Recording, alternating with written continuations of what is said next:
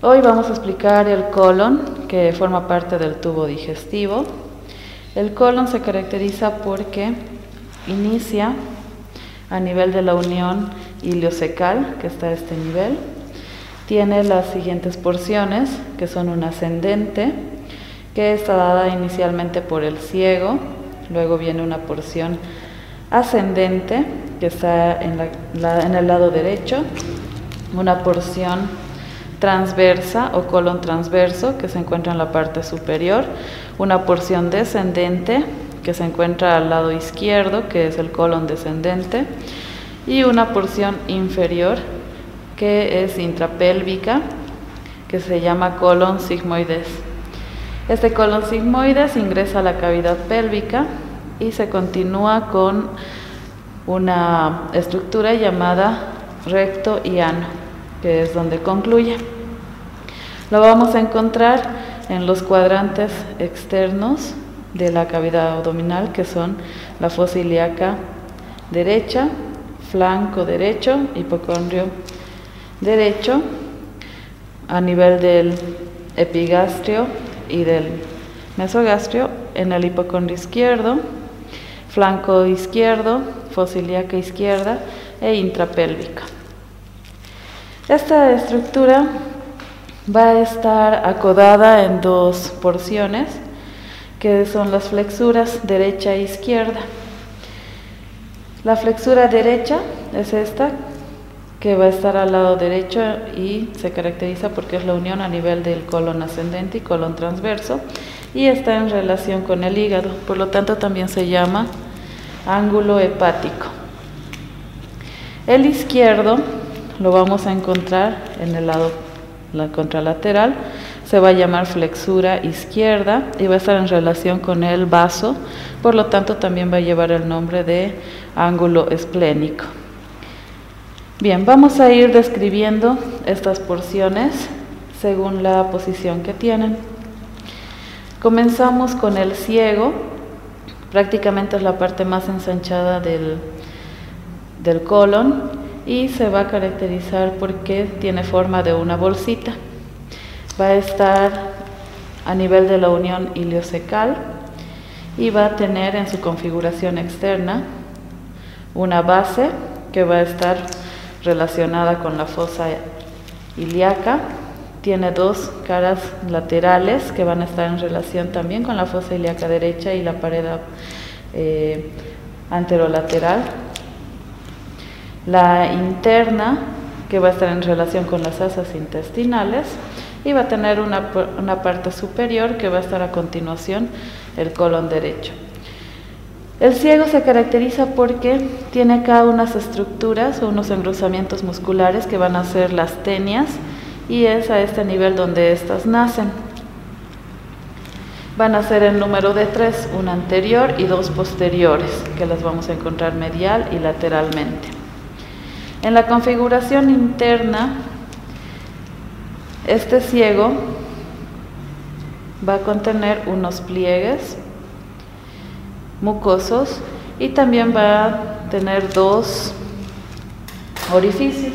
Estos dos orificios van a ser este uno más amplio, que es el orificio iliocecal, y acá inferiormente hay uno más pequeño, que es el orificio apendicular. Este es el iliocecal y este es el apendicular. El iliocecal, como estamos viendo acá, es más amplio. Va a tener dos labios, uno superior y uno inferior, y tiene un frenillo. Esta estructura que vemos acá es el labio superior, este es el labio inferior, y la unión en forma de B que tienen estos dos labios se llama frenillo. El ciego se va a continuar con el colon ascendente. Este colon ascendente se caracteriza porque va a presentar las tenias que indicamos. Tenemos la tenia anterior, que es esta, también llamada tenia libre. Tenemos una tenia posterolateral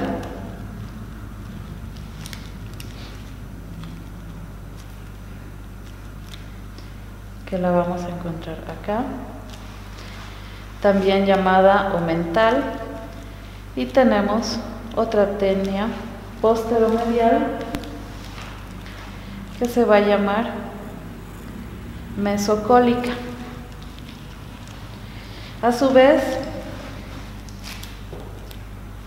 en la configuración externa de este colon vamos a encontrar unas eh, porciones más amplias que se van a llamar austras. Estas austras van a estar separadas o divididas por unos pliegues semilunares, que son estos engrosamientos que estamos viendo acá. Este es un pliegue semilunar, otro pliegue semilunar y entre estos dos las austras. Cuando nosotros vemos internamente, vamos a ver que estas, estos pliegues semilunares se convierten en unas válvulas que se van a llamar válvulas semilunares, que son estas.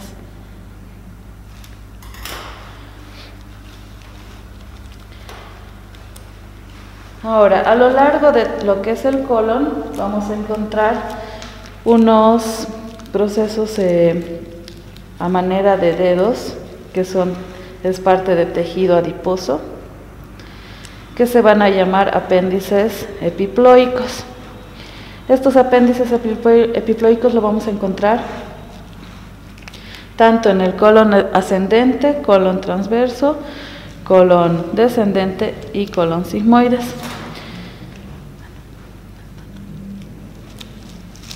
Bien, las tenias van a ser, como les dije, unos engrosamientos musculares que se inician en la base del ciego y van a ir ascendiendo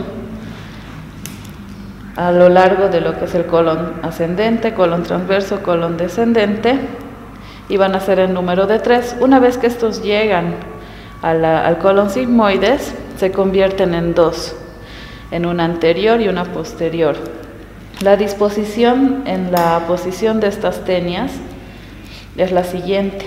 La tenia libre o anterior lo vamos a encontrar a este nivel anteriormente. La tenia mental la encontramos posteriormente pero medial y la tenia posterolateral la encontramos lateralmente. Esto nos sirve para identificarlas en el colon transverso. En el colon transverso van a cambiar de posición, por lo tanto el colon transverso, gira y la tenia anterior se va a convertir en póstero inferior.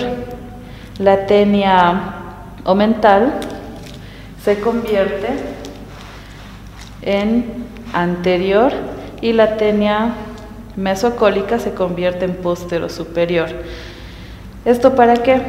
Para que el aumento mayor que está a nivel de la, del colon eh, descienda por delante de los órganos abdominales como si fuera un manto.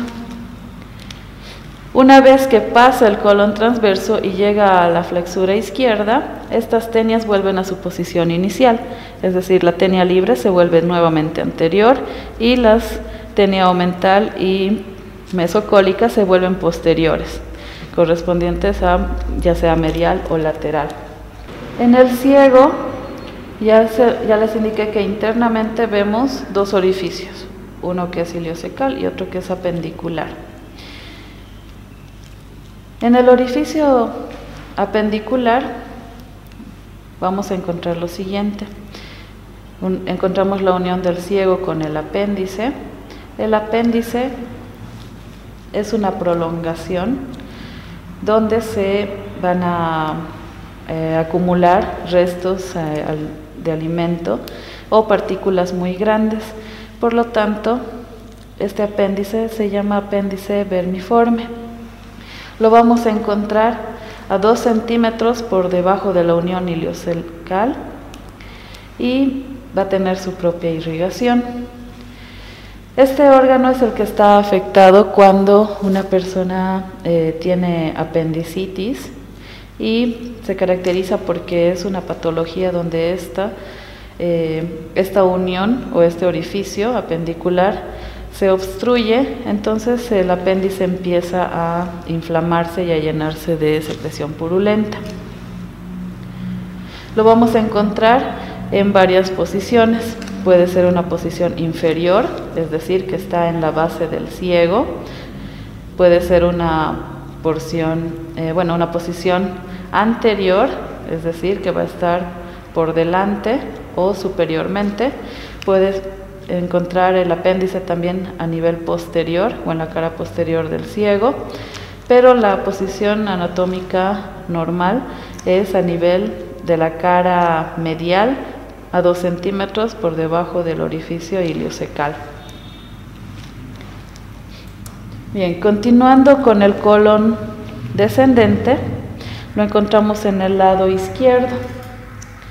Este colon descendente va a ir desde la flexura izquierda hasta la unión con el colon sigmoides.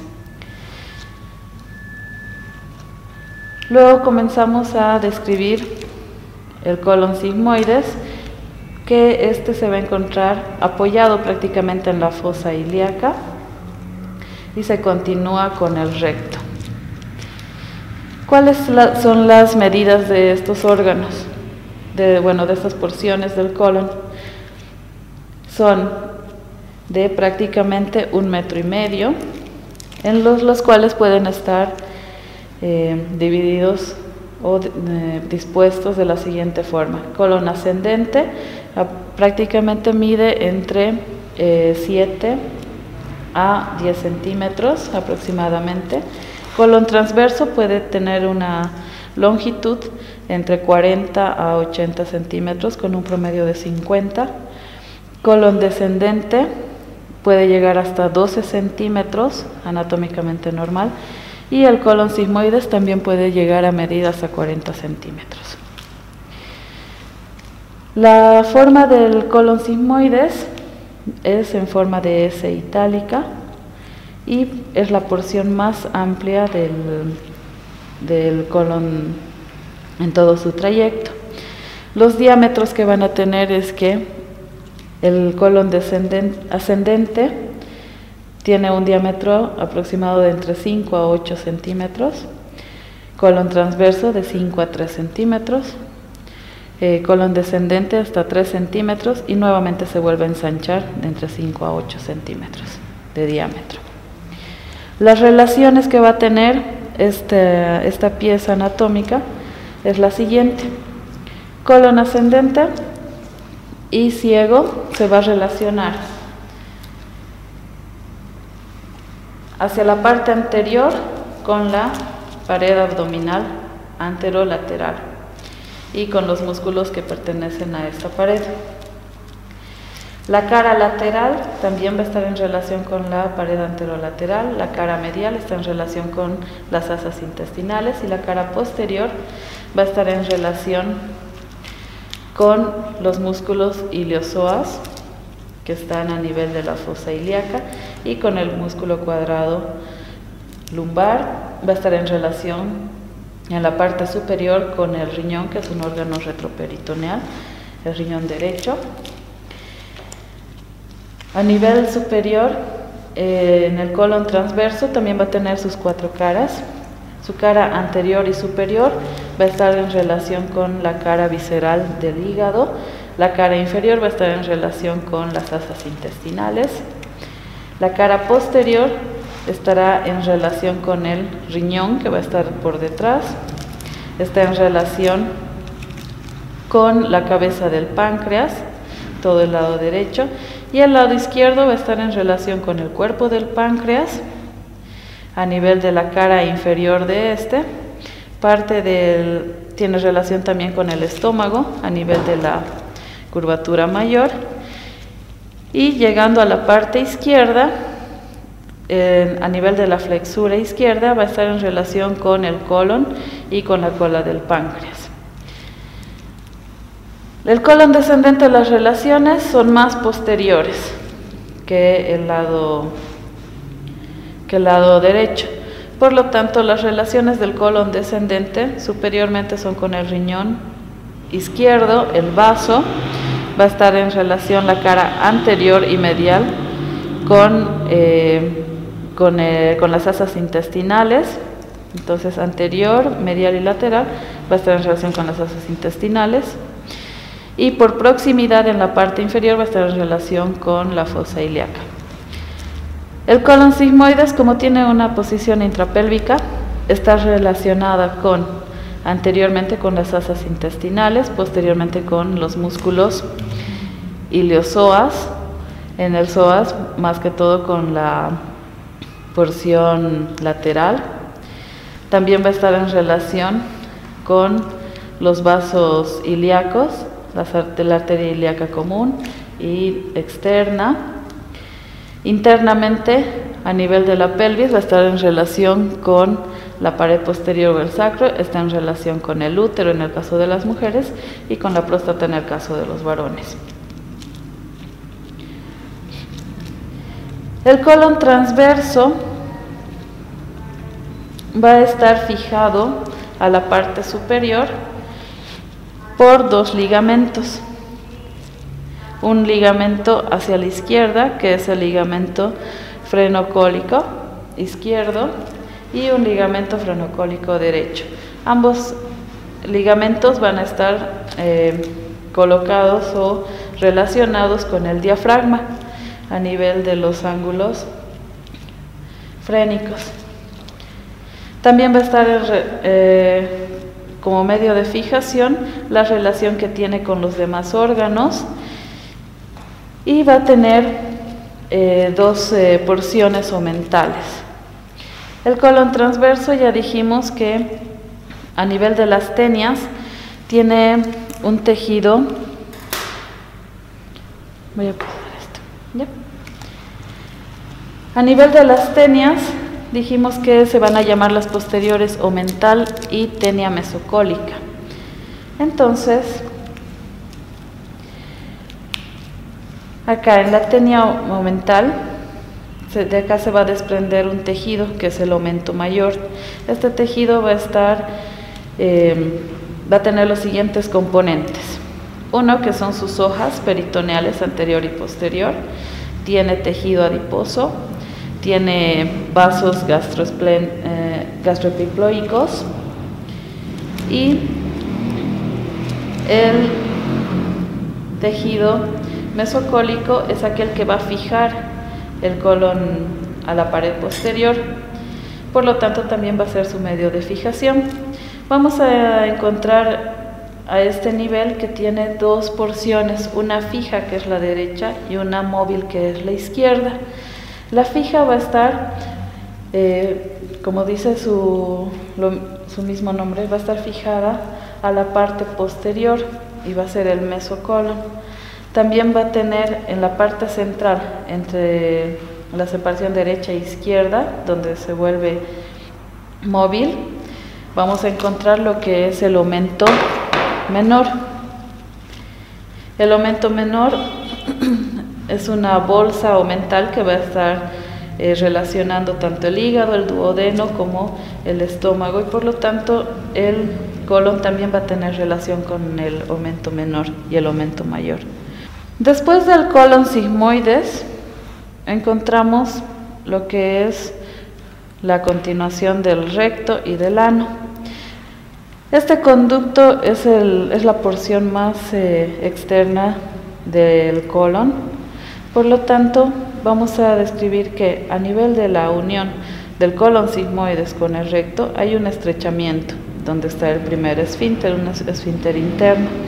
Luego, este recto se continúa hacia el exterior y se une a este nivel, a nivel del perine, con el ano.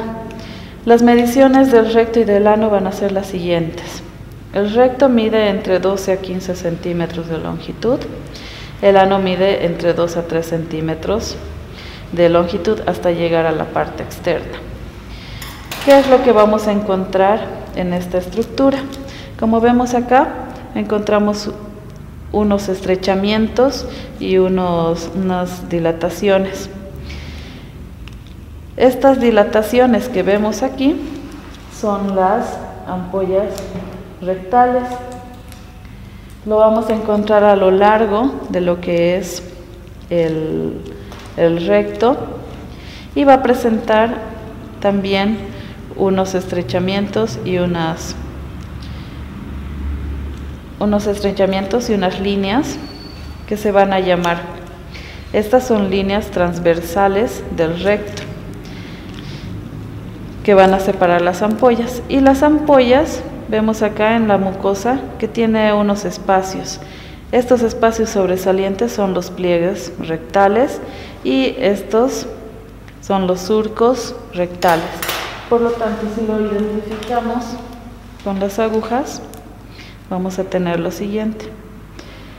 Este es un pliegue rectal.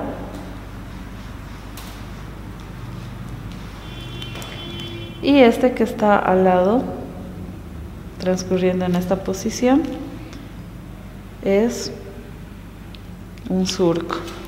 Entonces, recordando, vamos a ver que tiene las ampollas rectales, los surcos eh, o pliegues transversales que van a ir dividiendo las ampollas, los pliegues longitudinales y los surcos rectales. A su vez, el recto y el ano van a tener dos flexuras, una flexura superior o pélvica que está a nivel sacro, que es toda esta flexura, y la segunda flexura que es inferior, que se va a llamar flexura perineal. Cuando el recto y el ano se unen, a este nivel vamos a encontrar donde está la flexura perineal, encontramos acá unas formaciones triangulares, estas que las estoy mostrando acá. Esas van a ser, se van a llamar eh, pliegues de Morgagni, tienen forma triangular. Y estos pliegues transversales que están a nivel del recto se van a llamar pliegues de Houston. Debemos diferenciar eso. También vamos a encontrar eh, donde están los pliegues de Morgagni, encontramos dos sectores de tejido, uno que es cutáneo y otro que es mucoso. El cutáneo se, se va a caracterizar por estar en la parte externa del ano, por lo tanto es de externo a interno, es cutáneo. De inter, en la parte interna encontramos los pliegues de Morgagni. Entre los pliegues de Morgagni y la flexura eh, perineal encontramos la mucosa anorrectal. Esas son las porciones que vamos a encontrar a este, a este nivel. La irrigación del colon está dada tanto por la mesentérica superior como la mesentérica inferior. La mesentérica superior irriga todo el lado derecho, mesentérica inferior irriga todo el lado izquierdo. Por lo tanto, a nivel del ciego vamos a encontrar la irrigación iliocecal, donde se va a dividir en dos, una anterior, una posterior y da una ramita para que la rama ah, de la arteria apendicular. Tenemos también la irrigación que sale de la mesentérica superior, que es la iliocecal media, la medial, que va a tener su ramo superior, medio e inferior. Este se va a formar el arco riolano a este nivel del colon transverso y se va a unir con el lado izquierdo, con las ramitas marginales que están irrigando la parte izquierda del colon transverso y la parte superior del colon descendente. Ahora, la irrigación de la parte izquierda se va a dar por la mesentérica inferior, que va a dar las ramas marginales, las ramas mediales izquierdas o ramas cólicas izquierdas, y las ramas sigmoideas. Las ramas sigmoideas se van a dividir en tres. Este tronco va a tener la rama superior, media e inferior y hay una rama terminal que son las rectales superiores que van a ir a irrigar lo que es el recto y da dos ramitas derecha e izquierda.